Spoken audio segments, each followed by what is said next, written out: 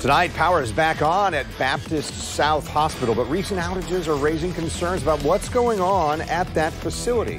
This is now the third power outage in recent months. It's affected people with elective surgeries on the books. They've had to reschedule. News4JAX reporter Jim Piggott joining us live near Baptist South. Jim, you've been tracking these power problems. You know, I've been talking to officials, but let me show you where I'm standing at. We're just right outside the Baptist South campus. That's it back there.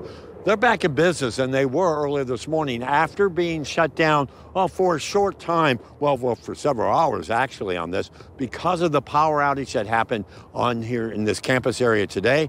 The same thing happened yesterday, and the same thing happened last July.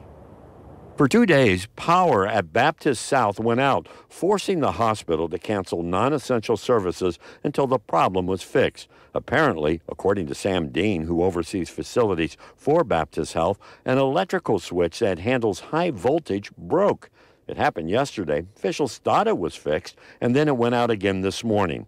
Well, a similar outage occurred last July. About 6:30 this morning, we had a fault that occurred. It was in a uh, switch that's on the primary distribution, and that triggered the shutdown of the primary power. The main hospital and emergency room all had backup generators kick in. It's areas where non emergency work, like nearby doctor's offices and other medical buildings where non life threatening procedures take place, they had to be canceled if you're not in imminent danger of whatever it is that you need, those are elective surgeries. So we stopped that until we restored normal power. But when the power does go out, there is a very short time when things go black before backup power can come on.